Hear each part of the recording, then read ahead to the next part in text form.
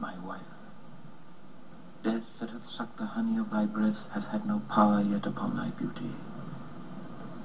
I still will stay with thee, and never from this palace of dim night depart again.